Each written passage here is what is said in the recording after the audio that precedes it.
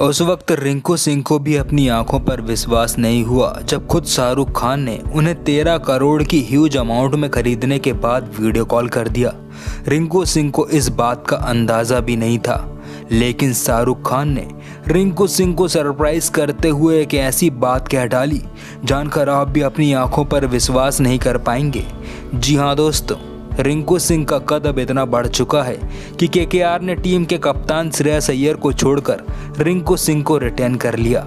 वो भी तेरह करोड़ की ज़बरदस्त प्राइज मनी देकर, जबकि पिछले कुछ सीजन्स में रिंकू सिंह को मात्र 50-60 लाख देकर ही रिटेन किया जा रहा था। तब भी रिंकू सिंह ने कुछ नहीं कहा और पूरी शिद्दत के साथ केकेआर को आईपीएल का खिताब जितवाया। रिंकू सिंह किसी भी कीमत पर केकेआर के साथ खेलने को तैयार थे, लेकिन शाहरुख खान ने खुद रिंकू सिंह को तेरह करोड़ देने का फैसला लिया और रिंकू सिंह को वीडियो कॉल कर इसकी बधाई दी। वैसे आपको रिंकू सिंह के लिए कुछ कहना तो होगा ही। कॉमेंट ज़रूर कीजिएगा। Thanks for watching